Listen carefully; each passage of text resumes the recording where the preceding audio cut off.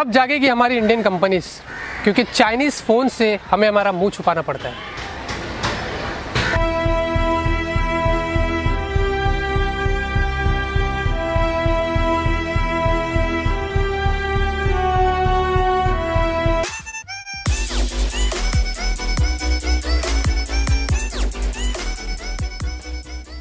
Box जैसे कि आप देखेंगे, आपको कुछ इस तरीके का मिलता है। एक आपको स्क्वायर शेप बॉक्स मिलता है और सामने की तरफ़ देखेंगे, आपको टी फाइव और डुअल कैमरा मिलता है। ये डुअल कैमरा सपोर्ट करता है। ऊपर की तरफ़ देखेंगे, आपको लियोगो की ब्रांडिंग मिलती है। ये लियोगो की तरफ़ से फ़ोन आपको मिलता है। आपको बैंगुड पे ये मिल जाएगा। इसकी प्राइसिंग जो आठ हज़ार छः सौ रुपये इंडियन में कन्वर्ट होता है। जब मैंने ऑर्डर किया था, तब सात हज़ार छः सौ रुपये का था। इसकी प्राइस बढ़ रही है और घट रही है। दोनों तरफ़ हो रहा है। तो आप अपने हिसाब से जाके बेस्ट टाइम पे जो उसको परचेस कर सकते हैं। लिंक आपको अपने वीडियो के शो नोट में जो दे दिया हो। पीछे की तरफ़ देखेंगे, आपको कुछ इस तरीके का मिलता है। एलिगेंस ब्लैक कलर में हमें ये डिवाइस जो आया है, यहाँ पे स्पेसिफिकेशन की बात करें तो आप लोग को फाइव 1.5 इंच की फुल एच की आईपीएस डिस्प्ले मिलती है, जो कि कॉनिंग गोरिल्ला ग्लास 4 के प्रोटेक्शन के साथ में आपको मिलता है।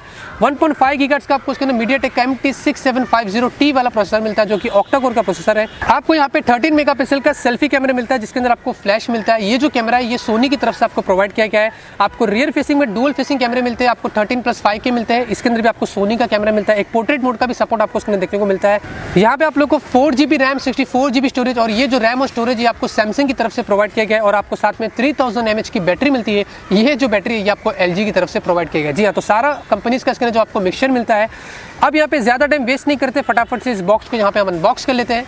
तो यहाँ पे हमारा लियो का टी फाइव आप देखेंगे, इस तरीके का आपको मिलता है। 7.9 पॉइंट mm ठीक है ये, और साथ में आपको एक मेटल यूनिबॉडी डिज़ाइन मिलती है। इसको बाद में हम एक्सप्लोर करेंगे, इसको फ़िलहाल के लिए साइड में रखते हैं और देखते हैं कि रिमेनिंग बॉक्स कंटेंट में यहाँ पे क्या कुछ जो वो मिलता है। तो यहाँ पे आप लोगों को तीन बॉक्स मिलते हैं, एक बड़ा बॉक्स मिलता है, दो आपको छोटे बॉक्स मिलते हैं, और अच्छी बात यह कि पहली बार कोई चाइनीज़ स्मार्टफ़ोन के अंदर आपको ईयरफोन देखने को मिलते हैं, जो आप देखेंगे इस तरीके का आपको छोटे से बॉक्स में मिलता है। तो यहाँ पे आप देखेंगे ईयरफोन की क्वालिटी आपको कुछ इस तरीके की मिलती है, एक इन ईयर टाइप की क्वालिटी के ईयरफोन आपको मिलता है, काफ़ी अच्छी बात है। आप एक और बॉक्स मिलता है। इसके अंदर ऑब्वियसली आपको जो वो चार्जर देखने को मिलने वाला है, इस तरीके से हम इसको बाहर निकाल लेते हैं। यहाँ पे आप देख सकते हैं, ये कुछ इसकी चार्जर की रेटिंग है, या आपको फाइव वोट टू एम का मिलता है। ऑब्वियसली ये फास्ट चार्जिंग सपोर्ट नहीं करता है। बड़े बॉक्स में आप देखेंगे यहाँ पे, मुझे लगता है कि इसमें शायद आपको बैक केस मिलने वाला है। जी हाँ ऑब्वियसली आप देखेंगे, इस तरीके से आपको बैक केस मिल रहा है।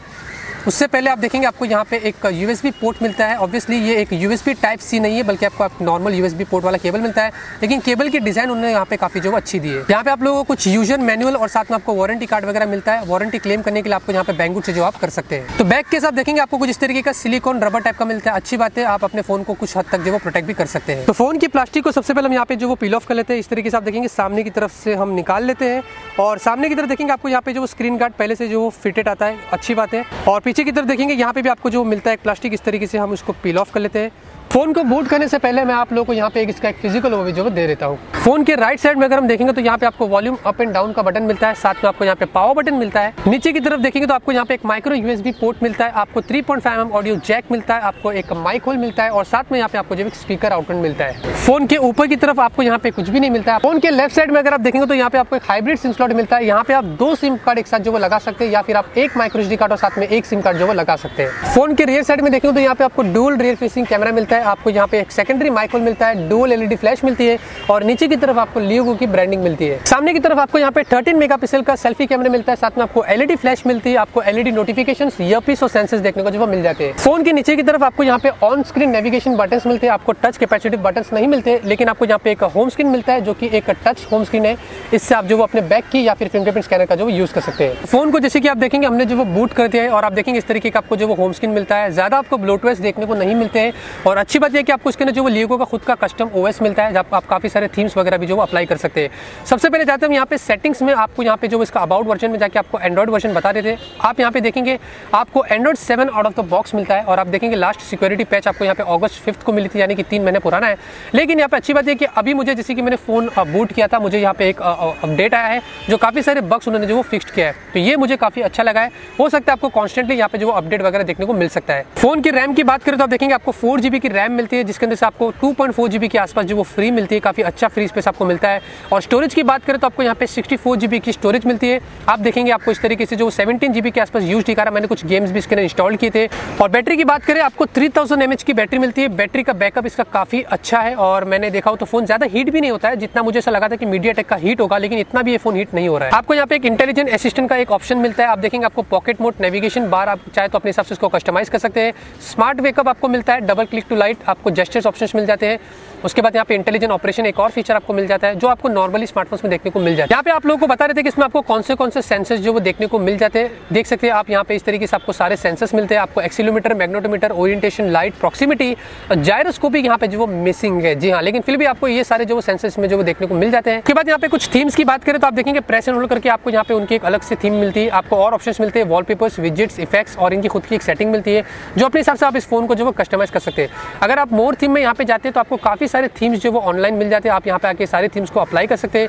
इस तरीके से आप ये सारे थीम्स को डाउनलोड कर सकते हैं और आप इसको जो वो यूज़ कर सकते हो। अच्छी बात है कि आप अपने फ़ोन को भी कस्टमाइज भी जो वो कर सकते हैं। यहाँ पे आप लोग एक और चीज़ बता रहे तो आपको सारे गूगल एप्लीकेशन इसके अंदर प्री इंस्टॉल मिलते हैं। आप लोग को टेंशन लेने की ज़रूरत नहीं। आप यहाँ पे आके सारे गूगल एप्लीकेशन यूज़ कर सकते हैं। यहाँ पे आप लोग को फ़ोन की स्पीड की बात करें तो फ़ोन काफ़ी फास्ट एंड रिस्पॉन्सिव है। आप देखेंगे, मैंने काफ़ी सारे एप्लीकेशन इस तरीके से ओपन करके रखा हूँ। आप देखेंगे, बहुत ही अच्छी फास्ट चल रहा है, इतना भी बुरा नहीं है। आप देखेंगे स्पीड काफ़ी अच्छा है और जो भी एप्लीकेशन आप ओपन करते हैं, ये वहीं से जो उसको कंटिन्यू कर लेता है। आपको ज़्यादा जो रिस्टार्ट करने की ज़रूरत नहीं पड़ती है। आपने आप लोग एक और चीज़ बता रहे थे कि ये जो फ़ोन है, ये गेमर्स के लिए नहीं है। आप एक मिड गेम और आप कैजुअल गेम वगैरह इसमें खेल सकते हैं। ऑब्वियसली ये स्नैपड्रैगन के प्रोसेसर आपको नहीं मिलते क्योंकि चाइनीज़ फ़ोन में आपको लगभग से ऐसे प्रोसेसर देखने को नहीं मिलते हैं। फाइनली यहाँ पे बात करते हैं इस फ़ोन के कैमरा की तो आपको डुअल रियर फेसिंग कैमरा मिलता है। उसके अंदर आपको पोर्ट्रेट मोड और मोनोक्रोम का सपोर्ट मिलता है। और आपको यहाँ पे थर्टीन मेगा का सेल्फी मिलता है, जिसके अंदर आपको फ्लैश मिलता है। आप लोगों को यहाँ पे स्क्रीन पे सारे सैंपल जो वो दिखा रहा हूँ, आप देख सकते हैं डुअल रियर फेसिंग कैमरा कितना अच्छा परफॉर्म करता है। कैमरे की क्वालिटी मुझे यहाँ पे काफ़ी अच्छी लगी है। इसका डेप्थ और इसका ब्लर मोड भी काफ़ी यहाँ पे जो अच्छा है। और यहाँ पे अगर सेल्फी कैमरे की अगर क्वालिटी देखेंगे तो आपको सेल्फी कैमरा भी काफ़ी अच्छा मिलता है। हालाँकि जो प्राइस इसकी जो है, उसके हिसाब से कैमरे काफ़ी अच्छा परफॉर्म कर रहे हैं। मैंने यहाँ पे इतना जो उम्मीद नहीं किया था। तो बस दोस्तों, इस वीडियो में आप लोग के लिए इतना ही था। उम्मीद करता आपको ये वीडियो पसंद आएगा। मैं उम्मीद करता हूँ कि हमारी इंडियन कंपनीज़ भी कुछ ऐसा ही काम करें, ऐसे बजट में अच्छे फीचर्स दें। तो हमें जो चाइनीज़ स्मार्टफ़ोन यूज़ करने की ज़रूरत नहीं पड़ेगी। तो अगर आपको वीडियो पसंद आया तो ज़रूर से इस वीडियो को लाइक करिए। मैं फ्यूचर में ऐसे ही यूनिक स्मार्टफोन्स के अनबॉक्सिंग और रिव्यूज़ जो लाता रहूँगा मिलते हैं आपसे अगले वीडियो में। एक नए वीडियो के साथ। Till then have a great day and always keep smiling